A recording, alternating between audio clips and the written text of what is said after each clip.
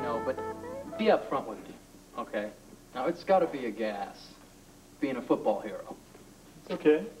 No, no, no, come on. I've been on campuses before. I know you. they take I mean, there have to be girls Well, falling all anytime over. Frisco gets off a roll. It'd be a lot hot easier if I could sing like you. Do you hear that out there? I like this guy. Cut for a second, guys. Tino, hey, we got a light up here, brother. You want to fix that for me? Hey, brother. Be right back. Hey, man, thanks for showing up today. How you doing? I've never seen a guy so nervous about getting married. I'll be through with this in a minute. We'll get together. Okay, great. Thanks, Tino. Give me the word. Uh, we're ready. Go. Okay, we've been talking to, to Larry Richards here. He's, uh, he's the football champion. Let me take that again, please. One more time? Yeah. Okay, and go. Listen, it's been a real pleasure talking with you, Larry. Anytime. We're talking with uh, Larry Richards here. He is the uh, number one quarterback of the Port Charles Devils. I expect to see you out there with the pros next year, okay? now, don't go away now. I'm going to come back and do a tune for you real quick.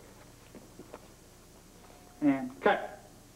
Okay, good job. It's been my pleasure.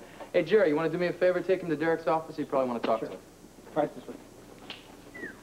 What a hot segment, brother. I could do this all day. How's it going? It's good. I, I need to talk to you for a second. Okay, what's up? What's the matter? Dad's dead. It's in San Francisco. It was a heart attack, and Frisco, they said it went quick. I just think that we ought to go I don't... I don't give a damn.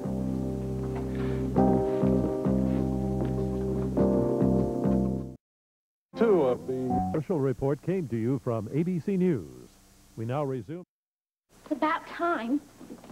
I was lying down in the bedroom, I was standing up at the student union. I mean, I was stood up. Felicia. We had a date, remember? What's wrong? My father died last night. Oh, Frisco. What happened? Was he ill? I had a heart attack. I'm so sorry. I'm not. Why should I lie about it? You can't mean that, Did you know him? Frisco. Take it from me. I knew him. He felt the same way about me. Feel better? I know you had a falling out with him once, but it's unnatural to be so calloused about his death. What is with all these generalizations? I know you. Well, I know me too, and I knew him. And believe me, what I'm feeling now, or what I'm not feeling, is perfectly understandable. But your father.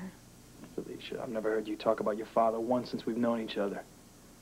Well, that's different. I, I didn't know him very well. He traveled around a lot. He was more like father There's figure. no law that says you have to love him, is there? I did. I felt a great sense of mourning at his funeral. Yeah. Well, funerals aren't my scene, especially this one. There's reasons for funerals. Yeah? Bury the dead people. They're for the living. People need to grieve. Sounds like the gospel according to my brother Tony. Have you eaten anything? Yeah. Well, that's another important thing for life, too, is food. I'll fix you something. You want some ham and eggs? No, don't bother. I'm not hungry.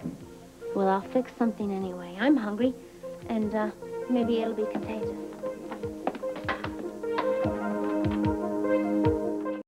I was only going to say, if you didn't go, you'll always regret it, Frisco. Yeah, I'll take that chance.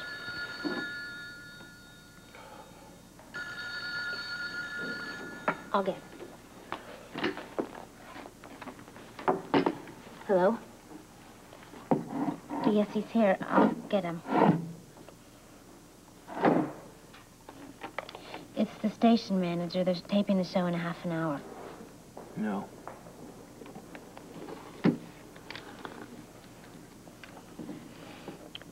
Frisco asked me to let you know there's been a death in his family.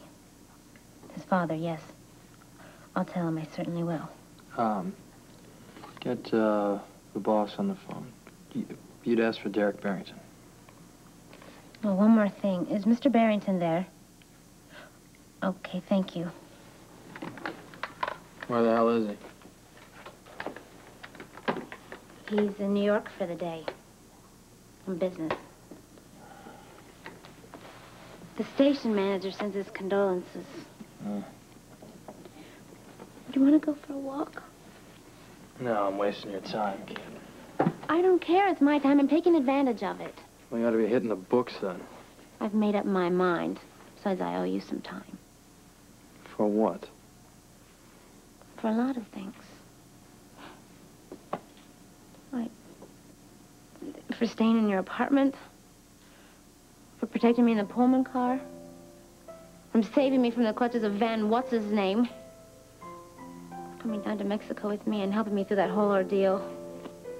In other words, you helped me whenever I needed you. No, you're in trouble. No, you're in trouble, and I'm, I'm here for you now. No, Felicia, this is, um, this is something that I can only deal with myself. Okay? There's something bad going on inside of you, and I want to help. Honey, something that... Um. What are you doing? Walking you to the door. Frisco? No, please, I, I have to be alone. Please.